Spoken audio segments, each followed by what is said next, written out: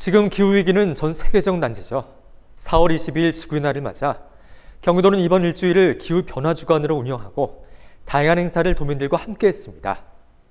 지구 환경을 지키기 위한 범도민적 노력과 실천이 여기저기서 있었는데요. 시작은 작지만 끝은 결코 작지 않도록 그 의지들이 모아지고 있는 모습입니다. 최지영 기자입니다. 엔지니어가 된 것 마냥 나사를 풀어헤치는 재미에 빠진 아이들. 장난감을 제대로 분리배출하는 법을 놀이처럼 배우고 있는 겁니다. 장난감에 이런저런 물품이 많으니까 철, 철새도 있으니까 같이 플라스틱에 버리니까 어 이제 분리돼서 버리면 더, 더 좋아질 것 같아요. 놀다 버리는 요즘 장난감엔 플라스틱과 고무, 전선 등 사물을 재탄생시키는 재활용 재료들이 사실 한보따리입니다.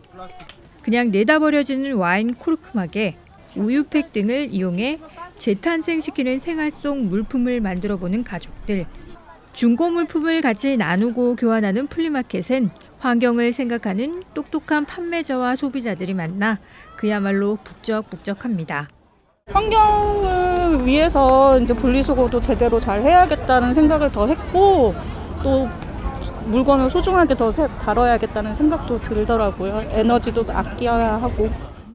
경기도는 지구의 날을 맞아 지난 토요일 플리마켓 행사를 열었는데 시민들이 자발적으로 함께했습니다. 이번 행사의 의미는 온실가스 감축 실천 활동의 어, 중요성을 알리고자 다양한 아, 폐기물의 재활용 방법을 알려드리기 위해서 경기도 청사에선 단 하나의 일회용 컵 사용도 허용이 안 됩니다.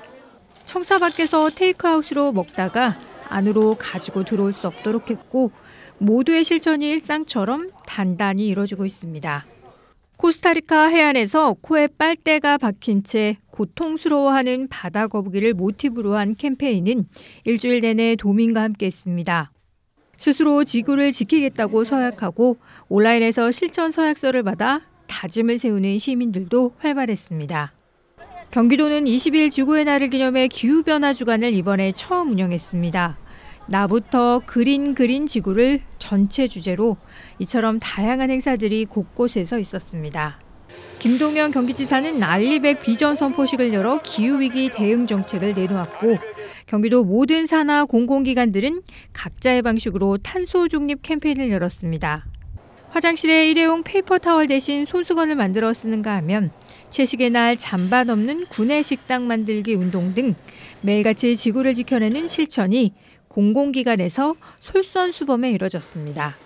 재단에서 이런 캠페인 경기도에서 이렇게 캠페인을 진행하다 보니까 좀 많이 관심을 갖게 되고 저도 거기에 많이 동참하게 된 것 같아요. 이번 한 주 경기도 전역에선 지구를 지키기 위한 이러한 가진 노력과 마음이 다양한 형태로 커지며 실천됐습니다. 경기지TV 최지연입니다.